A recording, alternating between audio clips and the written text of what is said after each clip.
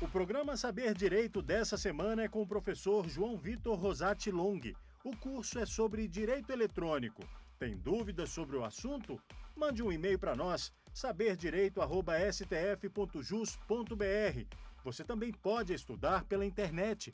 É só acessar o site www.tvjustiça.jus.br. Olá, este é o Saber Direito. O curso dessa semana é sobre direito eletrônico e este encontro tratará da questão das redes sociais. Falamos no início do curso aí das correntes sobre a regulamentação da NET. Falamos no nosso segundo encontro sobre a questão dos contratos eletrônicos, da teoria dos contratos eletrônicos e alguns aspectos pontuais na proteção do consumidor uh, em bens e serviços consumíveis offline. E agora trataremos de um serviço muito especial, muito caro a todos nós, que são as redes sociais. Há muitos aspectos para se falar e para se tratar das redes sociais no tocante ao direito eletrônico. Não obstante, a delimitação do nosso tema aqui é da proteção, enfim, da, da delimitação de qual o regime de responsabilidades, quais são os direitos e deveres de ambas as partes envolvidas nessa relação para a qual, uh, de repente, toda a nossa sociedade, todos os usuários da internet estão se debruçando, que é a questão das redes sociais. Em resumo, trataremos aqui de quando houver algum problema, quando houver algum dano, quem responde? Responde a rede social? Quem administra a rede social? Responde você? Responde o causador do dano? Será mesmo? Vamos então tentar entender o que é o fenômeno das redes sociais e o que é uma rede social. Para entendermos essas questões, dividiremos nossa apresentação em dois momentos. Número um, se há um dano e você sofreu esse dano por intermédio de uma rede social, como fazer para cessar o dano? E número dois, cessando ou não, quem responde civilmente por eventual reparação desses danos? Preliminarmente, precisamos estudar quem são os agentes que atuam na internet para finalmente qualificarmos as situações jurídicas de cada um deles e, naturalmente, quais as regras aplicáveis à relação jurídica entre você, usuário, e quem administra a rede social. Para entendermos isso, é crucial a compreensão do conceito de provedor de serviços de internet. Quando a internet no Brasil foi lançada ao mercado, uma portaria interministerial trouxe alguns conceitos, como o de internet, esta rede genérica que envolve computadores, softwares e hardware e é vertida para a comunicação entre as pessoas. Também há o conceito de quem são os intermediários, quem são os agentes que fazem esse sistema acontecer. A doutrina, então, traz a divisão dos provedores de serviço de internet quanto ao serviço prestado, ou a causa do contrato entre usuário e provedor. Primeiramente, para a gente entrar na internet, é necessário que haja meios físicos. É necessário que existam cabos de fibra ótica, redes de wireless e toda essa parafernália eletrônica que faz a internet funcionar. Alguém presta esse serviço? Alguém detém esses cabos de fibra ótica e faz com que a internet funcione. São os chamados provedores de backbone. Backbone em inglês, a espinha dorsal. E assim são aqueles que proveem o serviço a outros provedores para que se utilizem, se, do, se utilizem dos meios físicos que compõem a rede. O segundo provedor, segundo doutrina e a própria norma, é o provedor de conexão. Afinal, você, usuário final, isso via de regra, não loca cabos de fibra ótica situados quilômetros e quilômetros pela costa do Brasil, por exemplo. Você simplesmente celebra um contrato com um fornecedor qualquer para obter acesso a essas informações. Surge então o conceito de provedor de conexões de internet, que é aquele prestador de serviço que fornece a possibilidade de que um usuário com seu nome e sua senha, depois mais sofisticadamente, até mesmo via smartphone, possa adentrar a rede. E passamos então a consumir os serviços ali oferecidos. Quando você está na rede, você pode entrar no seu e-mail, você pode acessar um site de notícias, você pode assistir vídeos, ou simplesmente você pode adentrar a rede social. Esta classificação traz o conceito de provedor de aplicações de internet. Provedor de aplicações de internet é aquele que fornece serviços àquele que já está conectado na rede. A lei subdivide os provedores de aplicação de acordo com a, o serviço oferecido ao consumidor. A lei subdivide o provedor de aplicações em provedor de conteúdo, que é aquele site de notícias que você entra e há um editoramento prévio das informações fornecidas. Divide também em provedor de e-mail, que é aquele que simplesmente se utiliza de uma tecnologia para que você possa trocar essas informações supostamente em segurança. Bem como também traz o conceito de provedor de hospedagem, que é aquele em que você insere informações e essas informações são acessadas de forma remota. Você não precisa ir para o computador que está lá nos Estados Unidos para entrar na sua foto, por exemplo. A rede social, como conhecemos, ela se materializa por intermédio do que já falamos na primeira aula de um site, de um nome de domínio.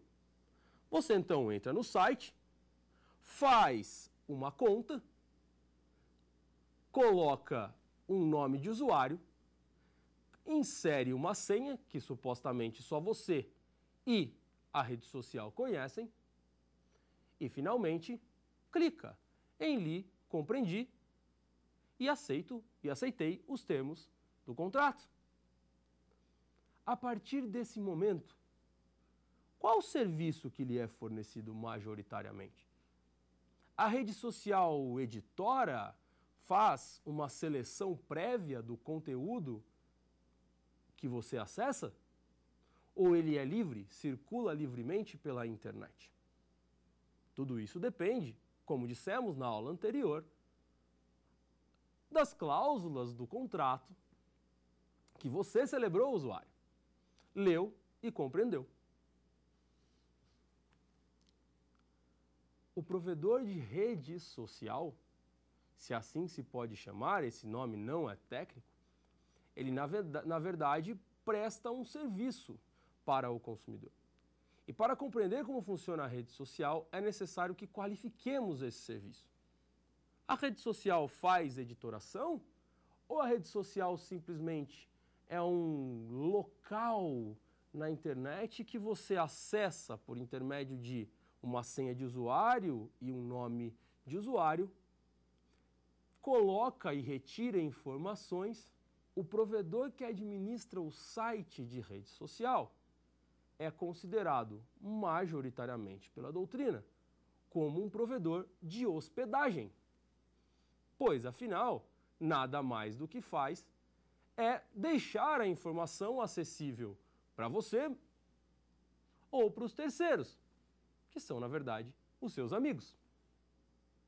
quem acessa ou não as informações e de que forma acessa ou não estas informações é definido pela política de privacidade do site e executado pelo detentor da tecnologia que administra o site. Portanto, na regulamentação pelo código. Estamos aí, diante da primeira corrente, o tempo todo. Resta sabermos quais são os direitos e deveres de cada uma dessas partes envolvidas na relação. Posto isto, vamos à pergunta dos nossos telespectadores. O YouTube pode bloquear determinados vídeos? Sabrina, excelente pergunta. Será que o YouTube pode bloquear os vídeos? E se caso ele bloqueia vídeo que eu posto, por exemplo, de uma aula minha, qual é o fundamento jurídico para a conduta deste contratante? Para respondermos essa pergunta, é extremamente necessário que saibamos quais são os deveres lato senso de um provedor, para ver se é possível um provedor de aplicações de internet que administra uma rede social bloquear determinado vídeo e, no frigir dos ovos, atuar positivamente uh, limitando a liberdade de expressão de um usuário ou não. Segundo a doutrina, professor Marcel Leonardi, são deveres dos provedores. Número um, utilizar tecnologias adequadas, porque se utilizar tecnologias inadequadas, desatualizadas, pode comprometer a segurança do contrato. Número dois, conhecer os dados dos usuários que com ele contratam. Afinal, é necessário que o fornecedor saiba com quem se está contratando. Número 3. Manter em sigilo os dados de cada usuário, sejam esses dados pessoais, sejam dados decorrentes dos sites que você navega ou das coisas que você compartilha com um amigo ou outro e não quer que as pessoas saibam não monitorar o seu usuário, não monitorar o seu contratante. E, finalmente, segundo o professor Marcel Leonardi, não censurar conteúdo. Pode o YouTube bloquear determinado conteúdo? Caso bloqueie, qual o seu fundamento para tal? Pode fazê-lo automaticamente? Deve haver uma notificação de alguém que se desagradou por aquele conteúdo? Ou apenas mediante uma ordem judicial ou uma solicitação de uma autoridade pública deverá o YouTube ou qualquer rede social bloquear tal conteúdo? Essas questões são as questões que se desdobram da questão anterior e que naturalmente dizem respeito à alma do problema sobre responsabilidade civil dos provedores que administram os sites de redes sociais, os provedores de aplicação, e a tutela da liberdade de expressão e de outros bens da personalidade dos usuários que a ela têm acesso. Para tanto, como quase tudo no direito, a duas, três, quatro correntes para explicar esse fenômeno.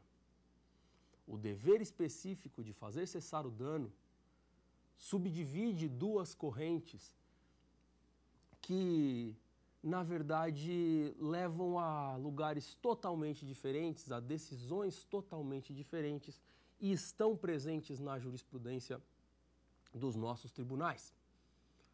A primeira corrente diz que a responsabilidade do provedor de aplicações que administra uma rede social, ela é de caráter subjetivo. Ou seja, somente vai responder o, o provedor que administra a rede social se houver culpa de sua parte. Que culpa, professor? Culpa em não retirar um conteúdo que foi pedido, solicitado, notificado para que fosse retirado.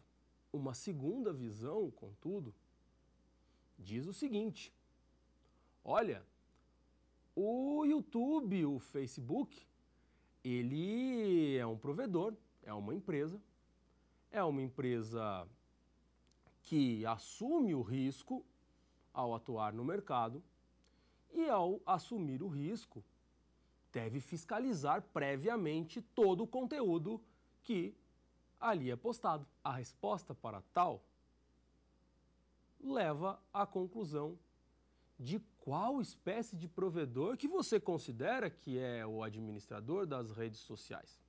É conteúdo ou é hospedagem? Faz ele editoração prévia ou não? E para compreendermos esse fenômeno, é necessário fazermos uma breve digressão histórica, mais ou menos para o começo do século XXI.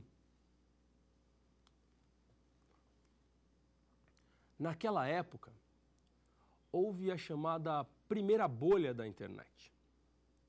A primeira bolha da internet, no fim dos anos 90, início do século XXI, foi uma quebra sistemática de várias empresas que atuavam no comércio eletrônico, porque os investidores viam que não havia inovação, não havia muito como lucrar com aquele tipo de negócio. E aí passaram simplesmente a tirar o dinheiro e as empresas quebraram. Foi então que um executivo norte-americano teve uma brilhante ideia. Ele disse: daqui para frente as coisas vão ser diferentes a web vai mudar. Nós estamos fundando a Web 2.0, a segunda versão da internet. Daqui para frente, você não vai mais pagar para acessar o seu e-mail, você não vai mais pagar para acessar o conteúdo, nem pagar para acessar a internet, dependendo do caso. Na verdade, a internet vai ser grátis para o usuário. O usuário não precisa pagar nada. Basta que simplesmente compartilhe os dados e produza o que é mais valioso dentro da rede, o conteúdo. Essa subversão de modelos de negócio, conhecida como Web 2.0, é, digamos assim, o que determina a alma do contrato que nós, usuários, temos com o Facebook, ou com o YouTube, ou com qualquer rede social haja vista que está lá escrito, muito bem claro. É grátis e sempre será. Como dizem os economistas, nada é grátis, não há almoço grátis. Se você está comendo de graça, pense, alguém está pagando. E se alguém está pagando para que você adquira algo de graça, você pode ser a mercadoria. E é exatamente o que acontece com todos nós, usuários das redes sociais.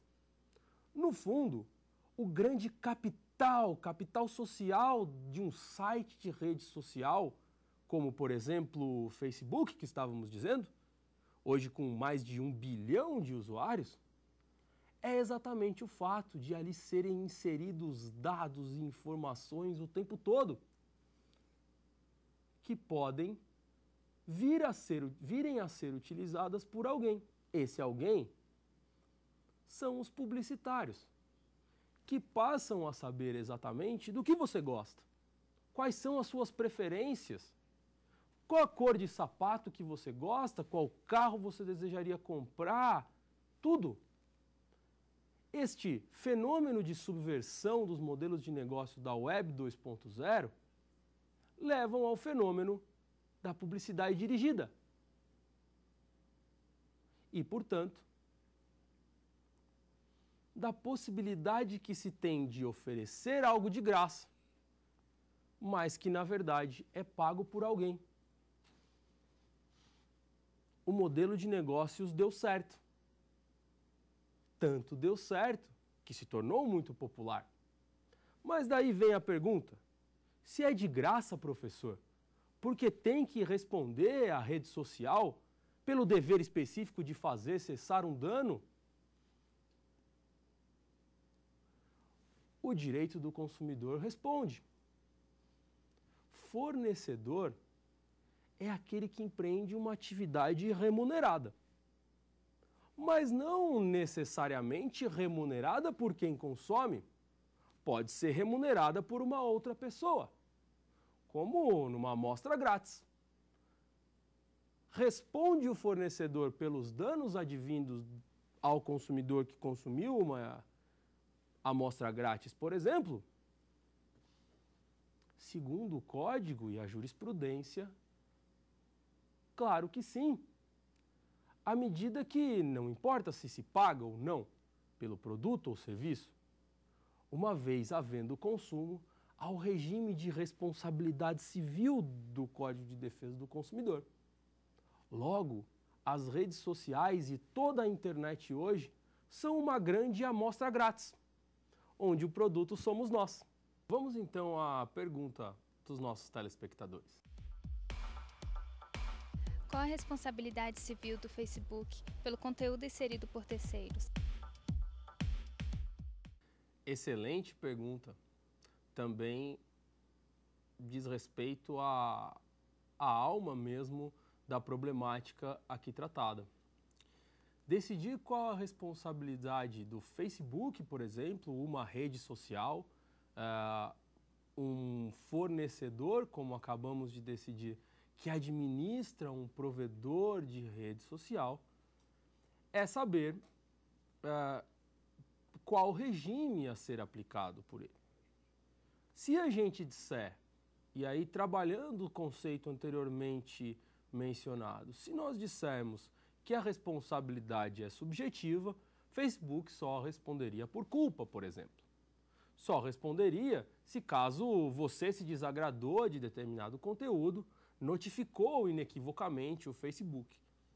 E se a responsabilidade for objetiva, pura, como é no Código de Defesa do Consumidor, o Facebook teria o dever de fiscalizar previamente o conteúdo inserido por terceiros, razão pela qual responderia independentemente de culpa se alguém ofendesse alguém pelo Facebook, por exemplo. A questão é tão polêmica que nem mesmo a jurisprudência do Superior Tribunal de Justiça decidiu-se totalmente sobre ele.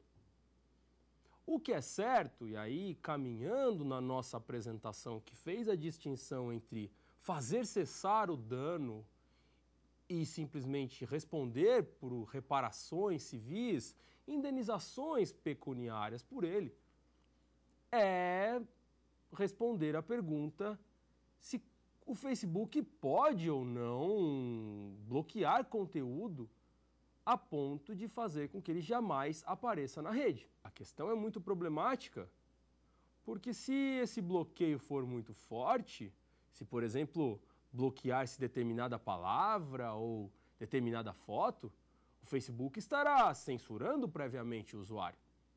Será que ele pode fazer isso? Já dissemos que parte da doutrina entende que não. Por essa razão, é extremamente necessário caminhando no sentido de mensurar qual grau de responsabilidade e qual a possibilidade de uma rede social fazer cessar um dano, é necessário que nós decidamos qual regime jurídico aplicável. Disse eu que a jurisprudência do STJ não se decidiu totalmente se o regime é da responsabilidade objetiva pura ou se da responsabilidade subjetiva total. Mas é certo que a jurisprudência, em especial do Superior Tribunal de Justiça, vem aí delimitando alguns deveres específicos dos sites de rede social, à medida que diuturnamente chegam aos nossos tribunais casos envolvendo esses sites. Assim sendo, a primeira vez que isso foi enfrentado especificamente pela jurisprudência do STJ foi num caso em que um usuário de, gostaria que bloqueasse de, determinado conteúdo num site de redes sociais, o antigo Orkut. A conclusão primeira do Superior Tribunal de Justiça acerca do tema foi no sentido de que, ao se oferecer um serviço por meio do qual se possibilita aos usuários que externem livremente sua opinião, deve o provedor de conteúdo ter o cuidado de propiciar meios para que se possa identificar cada um desses usuários. E esse meio para identificação seria suficiente para que o próprio usuário fosse lá buscar o outro que o agrediu, que o ofendeu e conseguisse obter a retirada daquela conduta, daquela informação ou eventualmente a reparação civil por danos. Esse foi o primeiro posicionamento do Superior Tribunal de Justiça acerca do tema. Não obstante, é certo também que o próprio Superior Tribunal de Justiça passou a enfrentar a polêmica sobre uma outra ótica. Em outra turma, em outro caso, já não se tratava de uma ofensa de um usuário a outro, mas sim de uma comunidade de usuários que foi criada para denigrir a imagem de crianças e adolescentes. A doutrina em especial civilista, tem superado muitas vezes o conceito de, de direito subjetivo para que se possa buscar qual o interesse em determinada relação jurídica. Será que o interesse, o bem jurídico protegido de menores de idade submetidas a agressões verbais veementes numa comunidade de um site de rede social é o mesmo que de uma pessoa que foi ofendida por outra? A resposta do Superior Tribunal de Justiça foi em sentido contrário. Em voto, disse o ministro relator Herman Benjamin que no mundo real, assim como no virtual, o valor da dignidade humana é um só, pois nem o meio em que os agressores transitam, nem as ferramentas tecnológicas que utilizam conseguem transmudar ou enfraquecer a natureza do sobreprincípio irrenunciável, a dignidade humana. Disse também que a internet é um espaço de liberdade por excelência, o que não significa dizer que seja um universo sem lei, infenso à responsabilidade pelos abusos que lá venham a ocorrer. Neste caso, tratava-se desta ação civil pública movida pelo Ministério Público do Estado de Rondônia, em que as adolescentes eram submetidas a agressões verbais. Obteve-se um provimento judicial para que o site que administrava a rede social retirasse do ar as comunidades, bloqueando eventuais comunidades nesse sentido. E o Superior Tribunal de Justiça manteve essa decisão, disse, na verdade, que o provedor tem que cumpri-la, sob pena de multa. Vejam que a segunda corrente da responsabilidade objetiva, portanto, veio a ser aceita pelo Superior Tribunal de Justiça.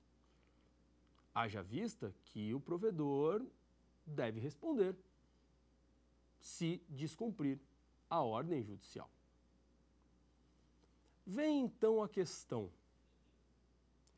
é necessário que haja uma ordem judicial para retirar um conteúdo? Ou o simples dever contratual assumido pelas partes de zelar pela dignidade do seu contratante poderia lastrear uma notificação extrajudicial? E vai-se mais além. Essa notificação judicial ou extrajudicial, ela precisa conter o local específico da informação? Ou apenas a foto, o vídeo, a música e a frase são suficientes? Outra celeuma doutrinária e jurisprudencial apareceu. É necessário que se informe ao provedor para que cumpra determinada solicitação ou ordem judicial, o local específico da obrigação Para os que entendem que sim, a alegação é muito simples. É tecnicamente impossível, tecnologicamente impossível ao provedor controlar todas as informações que são postadas diariamente numa rede social. Por essa razão, não basta que se fale qual a foto, qual o vídeo, qual a música. Até porque, se o provedor bloquear as que estão online hoje, em coisa de 5 minutos, outros usuários podem postar esse mesmo arquivo.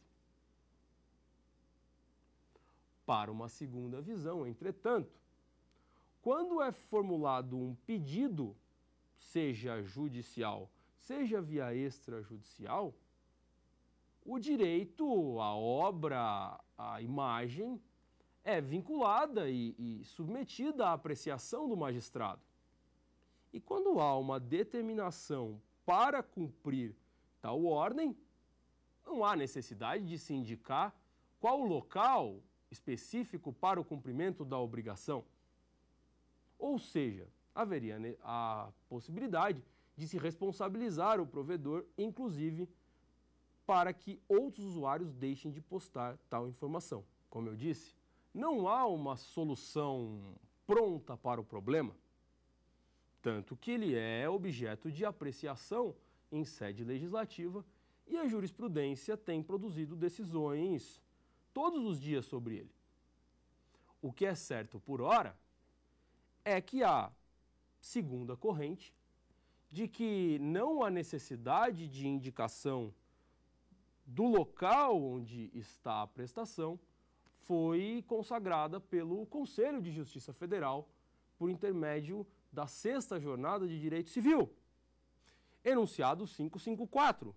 Independe de indicação do local específico da informação a ordem judicial para que o provedor de hospedagem bloqueie determinado conteúdo ofensivo na internet. A questão da impossibilidade técnica sempre aparece nos processos acerca do tema. Muitas perícias judiciais acabam por comprovar que, de fato, os mecanismos de busca de informações, de varrimento de informações, tecnologicamente falando, não são capazes de detectar se um arquivo é postado e bloqueá-lo automaticamente. Não obstante, é certo também que parte da doutrina vem levantando vozes acerca da, do aumento de sofisticação tecnológica desses mecanismos de filtragem, dessa regulamentação pelo código que falamos na primeira aula. Ela não é mais a mesma de 10, 20 anos atrás, ela é muito mais sofisticada. Afinal, ela é baseada nas preferências do usuário. Portanto, a Web 2.0, esse ambiente aí em que trafegam informações o tempo todo e essas informações são categorizadas uh, a ponto de praticamente identificar as preferências do usuário, poderiam vir a superar o problema da impossibilidade técnica dos provedores. Quer ver só? Faça um teste aí na sua casa.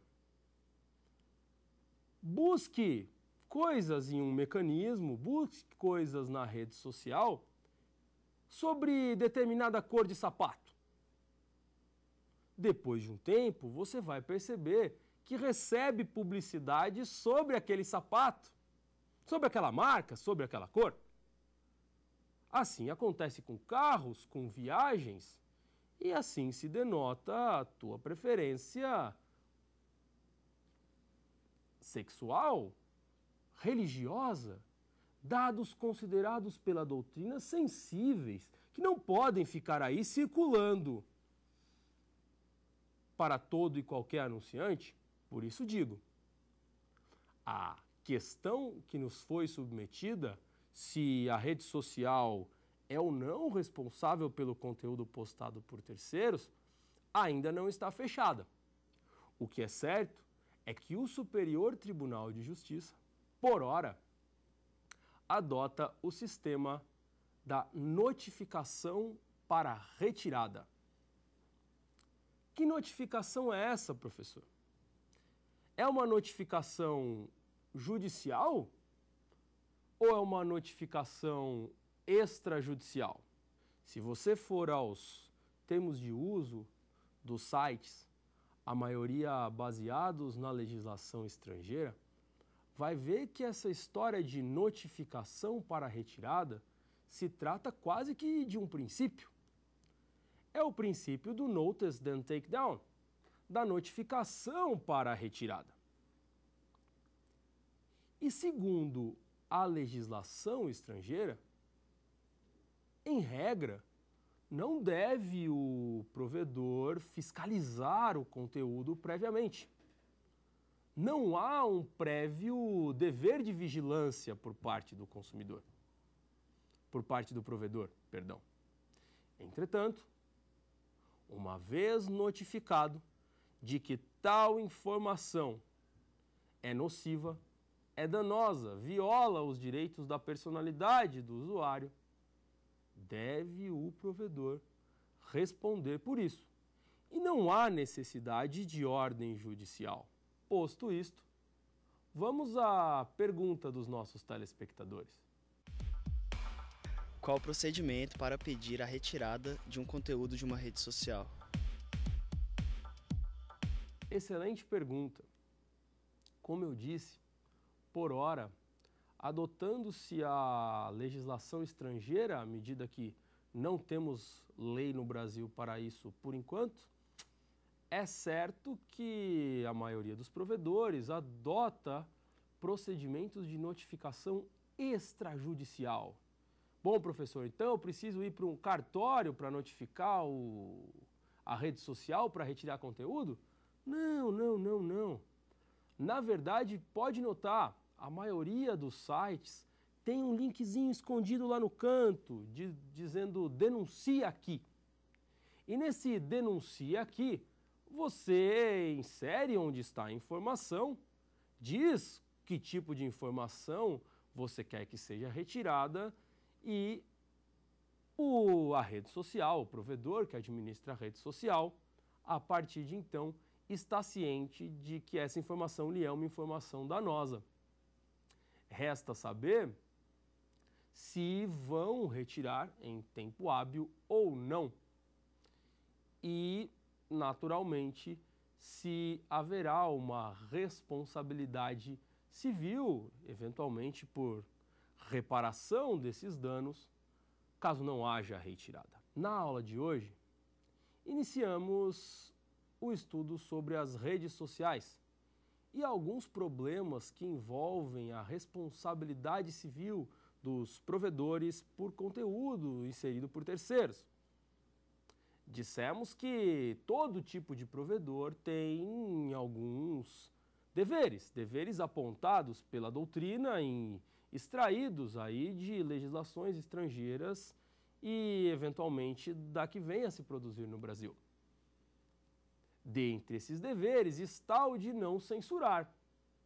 Entretanto, dissemos que a jurisprudência vem delimitando o que seria esse não censurar, havendo alguma possibilidade de se obrigar o provedor a retirar determinado conteúdo ainda que haja a celeuma de necessidade ou não de ordem judicial para tanto, assim como de necessidade ou não de indicação do local específico da obrigação, conhecido por URL. Outros problemas que se desdobram daí. Qual a extensão desse dano? Há algum prazo mínimo ou máximo para que o provedor, uma vez notificado, retire tal informação, a responsabilidade de reparar por esse dano depende da notificação ou haveria danos que são tão prementes que o provedor poderia saber? Há tipos de informação mais danosos que o provedor deveria saber e deveria bloquear de início. Estas questões serão abordadas no nosso próximo encontro, que falará, num segundo momento, das consequências da não retirada ou das consequências da informação inserida por terceiros. E, numa certa medida, da mensuração do grau de responsabilidade civil desses provedores. Afinal, trata-se de situações jurídicas subjetivas existenciais, nome também dado aos direitos da personalidade. Muito obrigado. Tem dúvidas sobre o assunto? Mande um e-mail para nós, saberdireito@stf.jus.br. Você também pode estudar pela internet. É só acessar o site www.tvjustiça.jus.br.